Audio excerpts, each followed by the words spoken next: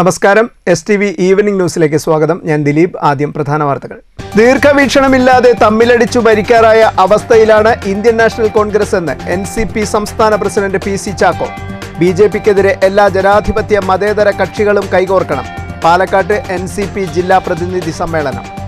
പോളണ്ടിൽ തൃശൂർ സ്വദേശിയുടെ കൊലപാതകത്തിൽ നാല് ജോർജിയൻ പൗരന്മാർ അറസ്റ്റിൽ. അറസ്റ്റ് വിവരം ഇന്ത്യൻ എംബസിയെ അറിയിച്ച പോളണ്ട് പോലീസ് കൊല്ലപ്പെട്ട ഒല്ലൂർ സ്വദേശി സൂരജിന്റെ മൃതദേഹം നാട്ടിലെത്തിക്കാൻ നടപടി തുടരുന്നു. നിയമപരമായ നടപടികൾ വേഗത്തിലാക്കുമെന്ന് റവന്യൂ മന്ത്രി കെ രാജൻ.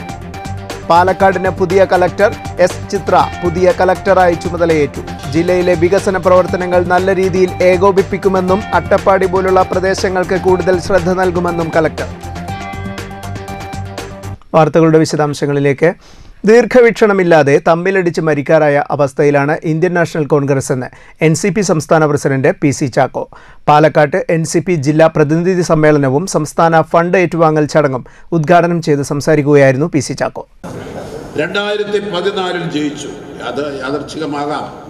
പക്ഷേ പത്തൊൻപത് വന്നപ്പോൾ ഇന്ത്യയിലെ ഐക്യ ജനാധിപത്യ മുന്നണി അല്ലെങ്കിൽ മതേതര മുന്നണി അതല്ലെങ്കിൽ വർഗീയ വിരുദ്ധ മുന്നണി രൂപീകരിക്കാൻ വേണ്ടിയുള്ള നിരന്തരമായ പരിശ്രമങ്ങൾ ഉണ്ടായി വ്യക്തിപരമായ അഭിപ്രായ വ്യത്യാസമുള്ള പലരെയും സോണിയാഗാന്ധിയെ ശ്രീ ശരത് പവാർ പോയി കണ്ടു.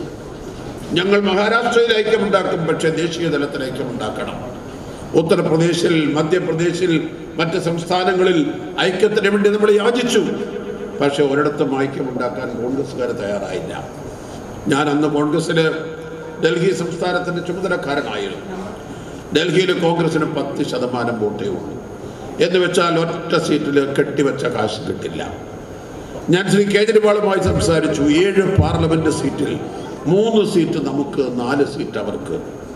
കോൺഗ്രസും കേജ്രിവാളും ഒന്നിച്ച് മത്സരിച്ചാൽ ഇന്ത്യയുടെ തലസ്ഥാനത്ത് ഒറ്റ സീറ്റ് പോലും ബി ജെ പിക്കാരന് കിട്ടില്ല.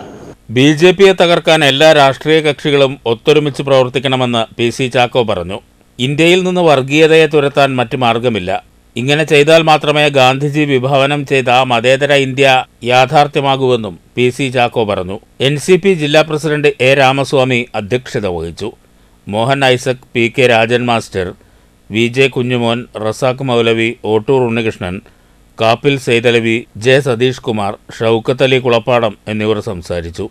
News bureau Palakkad. പോളണ്ടിൽ തൃശൂർ സ്വദേശി കൊല്ലപ്പെട്ട സംഭവത്തിൽ നാല് ജോർജിയൻ പൗരന്മാരെ അറസ്റ്റ് ചെയ്തു. ഒല്ലൂർ സ്വദേശി സൂരജാണ് കഴിഞ്ഞ ദിവസം കുത്തേറ്റ് മരിച്ചത്. അറസ്റ്റ് വിവരം പോളണ്ട് പോലീസ് ഇന്ത്യൻ എംബസിയെ അറിയിച്ചു. ഒല്ലൂർ ചെമ്പൂത്ത് അറക്കൽ വീട്ടിൽ മുരളീധരൻ സന്ധ്യ ദമ്പതികളുടെ മകൻ ഇരുപത്തിമൂന്നുകാരനായ സൂരജ് കഴിഞ്ഞ ദിവസമാണ് പോളണ്ടിൽ കുത്തേറ്റ് മരിച്ചത്. ജോർജിയൻ പൗരന്മാരുമായി ഉണ്ടായ വാക്കുതർക്കത്തിനിടെയായിരുന്നു സൂരജ് കൊല്ലപ്പെട്ടത്. പ്രതികളായ നാല് ജോർജിയൻ പൗരന്മാരെ അറസ്റ്റ് ചെയ്തതായി പോളണ്ട് പോലീസ് ഇന്ത്യൻ എംബസിയെ അറിയിച്ചു. അതേസമയം സൂരജിന്റെ മൃതദേഹം നാട്ടിലെത്തിക്കാനുള്ള നടപടികൾ തുടരുകയാണ്. ഫെബ്രുവരി പത്തിനകം മൃതദേഹം നാട്ടിലെത്തിക്കാനാകുമെന്ന പ്രതീക്ഷയിലാണ് ബന്ധുക്കൾ. News bureau Thrissur. പോളണ്ടിൽ കൊല്ലപ്പെട്ട ഒല്ലൂർ സ്വദേശി സൂരജിന്റെ കൊലപാതകികൾ കസ്റ്റഡിയിലായെന്ന് ഔദ്യോഗിക വിവരം ലഭിച്ചതായി റവന്യൂ മന്ത്രി കെ രാജൻ. മൃതദേഹം നാട്ടിലെത്തിക്കാൻ ഒരാഴ്ചയെടുക്കും നോർക്ക തലത്തിൽ ഇടപെടലുകൾ നടത്തുന്നുണ്ട്. നിയമപരമായി ചെയ്യേണ്ട എല്ലാ നടപടികളും സർക്കാർ വേഗത്തിലാക്കുമെന്നും മന്ത്രി പറഞ്ഞു. സ്വാഭാവികമായിട്ടും നമുക്കറിയാവുന്നതുപോലെ ഒരു ഇത്തരത്തിലുള്ളൊരു മർഡർ കേസാണെന്നുള്ളതുകൊണ്ട് അതിന്റെ അന്വേഷണവുമായി ബന്ധപ്പെട്ട് പ്രാഥമികമായിട്ടുള്ള നടപടിക്രമങ്ങൾ ചെറിയ സമയമെടുക്കും എന്നാണ് മനസ്സിലാക്കാൻ കഴിയുന്നത്. ഇതുമായി ബന്ധപ്പെട്ട് ഉത്തരവാദികളായ ആളുകളെ പിടികൂടാൻ കഴിഞ്ഞിട്ടുണ്ട് എന്നാണ് അനൗപചാരികമായിട്ട് ലഭ്യമായിട്ടുള്ള വിവരം. മലയാളി അസോസിയേഷനുകളെല്ലാം ഇതുമായി ബന്ധപ്പെട്ട കാര്യങ്ങൾക്ക് രംഗത്തുണ്ട്. നോർക്കയുടെ സിഇഒ ഇന്ന് രാവിലെയും ഔപചാരികമായി കോൺടാക്ട് ചെയ്തിരുന്നു. അദ്ദേഹം ആ നടപടിക്രമങ്ങളുമായിട്ട് മുന്നോട്ട് പോവുകയാണ്.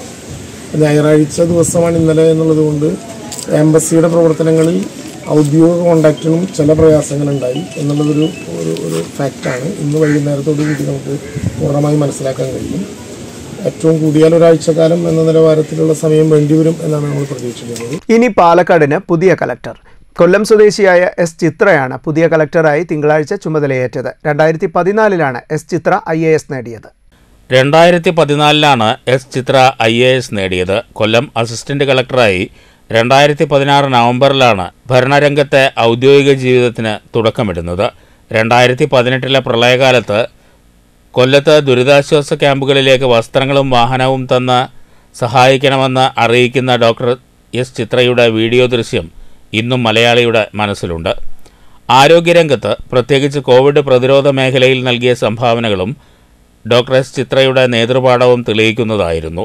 പാലക്കാട് കലക്ടറായി സ്ഥാനമേറ്റ ഡോക്ടർ ചിത്ര ആരോഗ്യ കുടുംബക്ഷേമ joint secretary I T mission director labour commissioner medical service corporation M D തുടങ്ങിയ പദവികൾ വഹിച്ചിട്ടുണ്ട്. തിരുവനന്തപുരം തോന്നിക്കലിലെ ലൈഫ് സയൻസ് പാർക്കിൽ സ്ഥാപിച്ച വാക്സിൻ ഉൽപ്പാദന യൂണിറ്റിൽ വാക്സിൻ നിർമ്മാണ പ്രൊജക്ടിന്റെ ഡയറക്ടറായും പ്രവർത്തിച്ചു. ജില്ലയിലെ വികസന പ്രവർത്തനങ്ങൾ നല്ല രീതിയിൽ ഏകോപിപ്പിക്കുമെന്നും അട്ടപ്പാടി പോലുള്ള സ്ഥലങ്ങളിൽ കൂടുതൽ ശ്രദ്ധ കേന്ദ്രീകരിക്കുമെന്നും കലക്ടർ പറഞ്ഞു. ഞാനൊരു ഡോക്ടർ കൂടിയാണ്. ആരോഗ്യ വകുപ്പിൽ ജോയിന്റ് സെക്രട്ടറി ആയിട്ട് ആറു മാസമേ ആയിട്ടുള്ളൂ. എങ്കിലും ഞാനിപ്പോൾ ഒരു പ്രയോറിറ്റി പറയുന്നത് ശരിയല്ലല്ലോ. കാരണം ഉദ്യോഗസ്ഥ എന്നുള്ള നിലയിൽ എല്ലാ മേഖലകളും ശ്രദ്ധിക്കേണ്ട ഉത്തരവാദിത്വം ഉണ്ട്. എങ്കിൽ പോലും ഇപ്പോൾ ജില്ലയെപ്പറ്റി കൂടുതൽ മനസ്സിലാക്കിയിട്ട് പ്രത്യേകമായിട്ട് ഇടപെടലുകൾ ആവശ്യമുള്ള ഏതെങ്കിലും മേഖലകൾ ഉണ്ടെങ്കിൽ തീർച്ചയായിട്ടും ആ ഇടപെടലുകൾ ഉണ്ടാവും. അതെ അതെ അതെ അതെ അതെ. അതെ എന്റെ ആദ്യത്തെ പ്രയോറിറ്റി തീർച്ചയായിട്ടും സർക്കാരിന്റെ പദ്ധതികൾ കൃത്യമായിട്ട് നടപ്പിലാക്കുക എന്നുള്ളതും മുൻ കളക്ടർ തുടങ്ങി വെച്ച പദ്ധതികൾ പൂർത്തിയാക്കുക എന്നുള്ളതുമായിരിക്കും. ഹരിപ്പാട് നങ്ങിയാർകുളങ്ങര സൗവർണികയിൽ ശിവപ്രസാദിന്റെയും പരേതയായ ലീനയുടെയും മകളാണ്. രണ്ടായിരത്തി പന്ത്രണ്ടിൽ കൊച്ചിയിലെ അമൃത ഇൻസ്റ്റിറ്റ്യൂട്ട് ഓഫ് മെഡിക്കൽ സയൻസസിൽ നിന്നാണ് എം ബി ബി എസ് നേടിയത്. പിന്നീട് കട്ടപ്പന ഗവൺമെന്റ് ആശുപത്രിയിൽ ഡോക്ടറായി. രണ്ടായിരത്തി പതിനാലിലാണ് ഐ എ എസ് നേടിയത്. News bureau Palakkad. സംസ്ഥാന സർക്കാരിന്റെ അഴിമതിക്കെതിരെ ബി ജെ പി ഒറ്റപ്പാലം മണ്ഡലം കമ്മിറ്റി പദയാത്ര നടത്തി. പത്തിരിപ്പാലയിൽ ജില്ലാ ജനറൽ സെക്രട്ടറി പി വേണുഗോപാൽ പതാക കൈമാറി ഉദ്ഘാടനം ചെയ്തു. രണ്ടാമതും അധികാരത്തിൽ വന്ന സമയത്ത് ജനങ്ങൾ അവരെ സമയത്ത് ഏറ്റവും നല്ല രീതിയിൽ ഭരിക്കുമെന്ന് ആളുകൾ തെറ്റിദ്ധരിച്ചെങ്കിൽ അഹങ്കാരം തലയ്ക്ക് പിടിച്ച പിണറായി വിജയനും കൂട്ടരും ഭരണഘടനയെ പോലും വെല്ലുവിളിച്ചുകൊണ്ട് നടത്തുന്ന പരിപാടികൾ കാണുന്ന സമയത്ത് ഈ പോക്ക് എവിടേക്കാണ് എന്ന് ജനങ്ങൾ ചോദിക്കുക. ഇപ്പൊ പറയുന്നത് ഈ അടുത്ത ദിവസങ്ങളിലൊക്കെ ഓരോ ഏരിയകളിലും ചില സമരങ്ങൾ നടക്കുക. മാർക്സിസ്റ്റ് പാർട്ടി പറയുന്നത് കേരളത്തെ അവഗണിച്ചു കേന്ദ്രമാണ്. കേരളത്തെ ഏത് തരത്തിലാണ് കേന്ദ്രം അവഗണിച്ചത് എന്ന് ചോദിക്കുമ്പോൾ അവരുടെ ധനകാര്യമന്ത്രി പറയുന്നത് ഞങ്ങൾക്ക് കടമെടുക്കാൻ ഞങ്ങളുടെ സ്വന്തം ഇഷ്ടപ്രകാരം കടമെടുക്കാൻ പറ്റുന്നില്ല. കേന്ദ്ര പദ്ധതികൾ അട്ടിമറിക്കുകയും വകമാറ്റി ചെലവഴിക്കുകയും ചെയ്യുന്ന സംസ്ഥാന സർക്കാരിന്റെ അഴിമതിക്കെതിരെയാണ് ബി ജെ പി ഒറ്റപ്പാലം മണ്ഡലം കമ്മിറ്റി പദയാത്ര സംഘടിപ്പിച്ചത്. മണ്ഡലം പ്രസിഡന്റ് കെ എസ് അനൂപാണ് പദയാത്ര നയിക്കുന്നത്. ഉദ്ഘാടന ചടങ്ങിൽ Peroor area president P Manikandan അധ്യക്ഷനായി. മധ്യമേഖലാ സെക്രട്ടറി ടി ശങ്കരൻകുട്ടി ജില്ലാ vice president K V Jayan ജില്ലാ secretary M Suresh Babu K M Bindu സംസ്ഥാന സമിതി അംഗം N Manikandan S T Morcha സംസ്ഥാന general secretary K Pramod Mahila Morcha സംസ്ഥാന സെക്രട്ടറി വിനിത ഹരിഹരൻ ജില്ലാ പ്രസിഡന്റ് പി സത്യഭാമ മണ്ഡലം ഭാരവാഹികളായ Sumesh Saroop Reshmi Baiju K P Jayanthi P Shailaja തുടങ്ങിയവർ സംസാരിച്ചു. വിവിധയിടങ്ങളിലെ സ്വീകരണത്തിന് ശേഷം ഒറ്റപ്പാലം ഓപ്പൺ ഓഡിറ്റോറിയത്തിൽ സമാപന സമ്മേളനം നടന്നു. മധ്യമേഖലാ പ്രസിഡന്റ് വി ഉണ്ണികൃഷ്ണൻ ഉദ്ഘാടനം ചെയ്തു. രമേഷ് ബാബു അധ്യക്ഷത വഹിച്ച ചടങ്ങിൽ ജാഥ ക്യാപ്റ്റൻ കെ എസ് അനൂപിനെ മധ്യമേഖലാ പ്രസിഡന്റ് വി ഉണ്ണികൃഷ്ണൻ ഹാരമണിയിച്ചു. ജില്ലാ vice president K V Jayan ജില്ലാ general secretary P Venugopal മധ്യമേഖലാ secretary T Sankarankutty S T Morcha സംസ്ഥാന general secretary K Pramod Mahila Morcha സംസ്ഥാന സെക്രട്ടറി വിനിത ഹരിഹരൻ മഹിളാ മോർച്ച ജില്ലാ പ്രസിഡന്റ് പി സത്യഭാമ തുടങ്ങിയവർ സംസാരിച്ചു. മണ്ഡലം ജനറൽ സെക്രട്ടറി സരൂപ് സ്വാഗതവും കെ എസ് അനൂപ് നന്ദിയും പറഞ്ഞു. ചടങ്ങിൽ സംസ്ഥാന സ്കൂൾ ഗെയിംസ് ആർച്ചറി ചാമ്പ്യൻഷിപ്പിൽ സീനിയർ ബോയ്സ് റിക്കവർ റൗണ്ട് വിഭാഗത്തിൽ എഴുന്നൂറ് മീറ്ററിൽ ഒന്നാം സ്ഥാനത്തോടെ ഗോൾഡ് മെഡൽ നേടിയ പ്രണവ് കെ എസ് കൃഷ്ണയ്ക്ക് മധ്യമേഖലാ പ്രസിഡന്റ് ഉണ്ണികൃഷ്ണൻ ഉപഹാരം നൽകി അനുമോദിച്ചു. News bureau Ottapalam. ക്വാറി ഉടമകളോട് സർക്കാർ കാണിക്കുന്ന നീതികേട് അവസാനിപ്പിക്കണമെന്ന് ക്വാറി വ്യവസായ ഏകോപന സമിതി. നിർമ്മാണ സാമഗ്രികളുടെ വിലക്കയറ്റം നിയന്ത്രിക്കുന്നതിന് ക്വാറികൾ പ്രവർത്തിപ്പിക്കാൻ അധിക സമയം അനുവദിക്കണമെന്ന ആവശ്യത്തോടും സർക്കാർ മുഖം തിരിക്കുകയാണെന്ന് സമിതി പ്രസിഡന്റ് എ കെ നാരായണൻ പാലക്കാട്ട് വാർത്താ സമ്മേളനത്തിൽ ആരോപിച്ചു. നിർമ്മാണ സാമഗ്രികളുടെ വിലക്കയറ്റം നിയന്ത്രിക്കാൻ സർക്കാർ ഇടപെടൽ ഫലപ്രദമല്ല. വിലക്കയറ്റം നിയന്ത്രിക്കാൻ അധിക സമയം പ്രവർത്തിപ്പിക്കാൻ അനുമതി തരണമെന്ന ആവശ്യത്തോടും സർക്കാർ മുഖം തിരിക്കുകയാണ്. എല്ലാവിധ അനുമതികളോടും കൂടി പ്രവർത്തിക്കുന്ന ക്വാറികളിലും അനധികൃത പരിശോധന വ്യാപകമാണെന്ന് ക്വാറി വ്യവസായ ഏകോപന സമിതി പ്രസിഡന്റ് എ കെ നാരായണൻ പറഞ്ഞു. പരിസ്ഥിതിയുടെ പേരിലുള്ള വ്യാജ പരാതികളിലാണ് പരിശോധന നടക്കുന്നത്. ഇത് അംഗീകരിക്കാനാകില്ല. പരിസ്ഥിതിക്ക് കോട്ടം തട്ടാതെ പ്രവർത്തിപ്പിക്കുന്ന ക്വാറികളുടെ അനുമതി നിഷേധിക്കുന്ന സമീപനം നിർമ്മാണ മേഖലയെ പ്രതിസന്ധിയിലാക്കുമെന്നും എ കെ നാരായണൻ പറഞ്ഞു.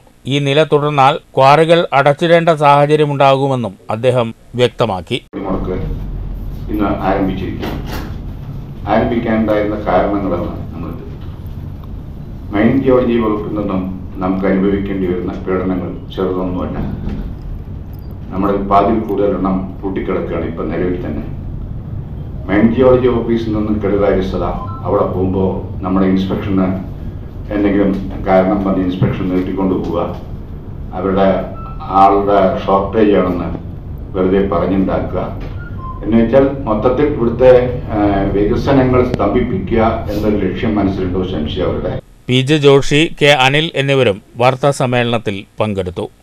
News bureau Palakkad. ഒറ്റമുറിയുള്ള plastic sheet മേഞ്ഞ ഷെഡിൽ താമസിക്കുന്ന ആറംഗ കുടുംബത്തിന് വീട് അനുവദിക്കുന്നില്ലെന്ന് പരാതി. കോട്ടായി പഞ്ചായത്തിലെ മഠത്തുംപടി ശിവദാസനും കുടുംബവുമാണ് കഴിഞ്ഞ ഏഴ് വർഷമായി ദുരിതത്തിൽ കഴിയുന്നത്.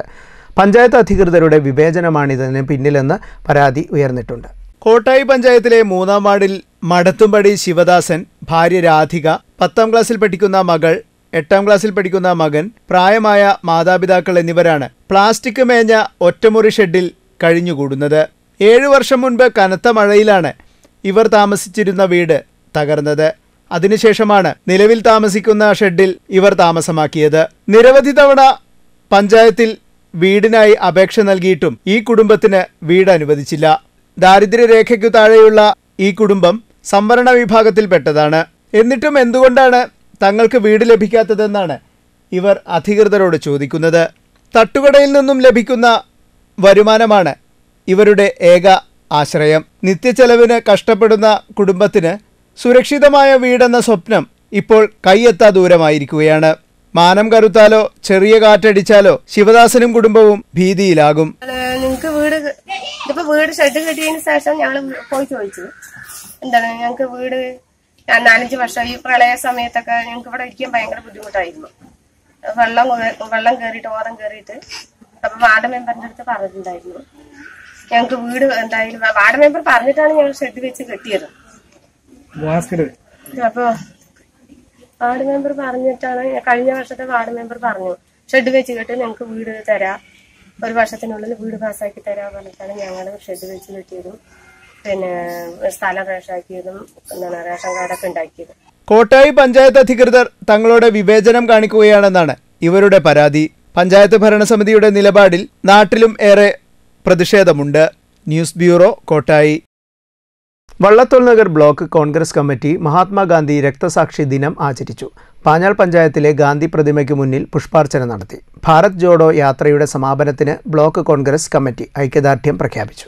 ഗാന്ധിജിയുടെ പ്രതിമയ്ക്ക് മുന്നിൽ മുൻ block Congress president C P Govindankutty D C C general secretary T U Radhakrishnan എന്നിവർ ചേർന്ന് പതാക ഉയർത്തി. തുടർന്ന് പുഷ്പാർച്ചന നടന്നു. Block Congress president K Narayanankutty അധ്യക്ഷത വഹിച്ചു. മണ്ഡലം president T K Vasudevan Unnikrishnan Nair Mustafa Varavoor C A Mustafa K K Fazalu Thampimani P J Thomas M Mukundan Noushad തുടങ്ങിയവർ സംസാരിച്ചു. രാഹുൽ ഗാന്ധിയുടെ ഭാരത് ജോഡോ യാത്രയുടെ സമാപനത്തിന് Vallathol Nagar block Congress committee ഐക്യദാർഢ്യം പ്രഖ്യാപിച്ചു. News bureau Cheruthuruthy. Shoranur മണ്ഡലം കോൺഗ്രസ് കമ്മിറ്റി മഹാത്മാഗാന്ധി അനുസ്മരണം സംഘടിപ്പിച്ചു. ഷൊർണൂർ ടൗണിൽ നടന്ന ചടങ്ങിൽ D C C secretary Shoranur Vijayan Gandhi അനുസ്മരണ പ്രഭാഷണം നടത്തി. മഹാത്മാവിന്റെ ഛായാചിത്രത്തിനു മുന്നിൽ പ്രവർത്തകർ പുഷ്പാർച്ചന നടത്തി. മണ്ഡലം പ്രസിഡന്റ് വിജയപ്രകാശ് ശങ്കർ വിനോദ് സന്തോഷ് ഉണ്ണി വിജയഭാനു തുടങ്ങിയവർ പങ്കെടുത്തു. പട്ടാമ്പി ഗവൺമെന്റ് സംസ്കൃത കോളേജിലെ കൊമേഴ്സ് വിഭാഗത്തിന്റെ നേതൃത്വത്തിൽ മേജർ ഡോക്ടർ വേണുഗോപാൽ എൻഡോവ്മെന്റ് വിതരണം ചെയ്തു. Kalady Sree Sankaracharya Samskrita university registrar doctor M B Gopalakrishnan ഉദ്ഘാടനം ചെയ്തു. പട്ടാമ്പി ശ്രീ നീലകണ്ഠ ഗവൺമെന്റ് സംസ്കൃത കോളേജിലെ കൊമേഴ്സ് വിഭാഗത്തിന്റെ നേതൃത്വത്തിലാണ് major doctor O Venugopal endowment award വിതരണവും മെറിറ്റ് ഡേയും സംഘടിപ്പിച്ചത്. കോളേജ് ഓഡിറ്റോറിയത്തിൽ നടന്ന ചടങ്ങിൽ പ്രിൻസിപ്പാൾ ഡോക്ടർ ടി സുഭാഷ് അധ്യക്ഷത വഹിച്ചു. Kalady Sree Sankaracharya Samskrita university registrar doctor M B Gopalakrishnan മുഖ്യപ്രഭാഷണം നടത്തി. വകുപ്പ് തലവൻ വി കെ മുരളീധരൻ സ്വാഗതം പറഞ്ഞു. മുൻ senior professor R Muraleedharan Venu അനുസ്മരണം നടത്തി. അവാർഡ് വിതരണവും ട്രോഫികളും വിദ്യാർത്ഥികൾക്ക് സമ്മാനിച്ചു.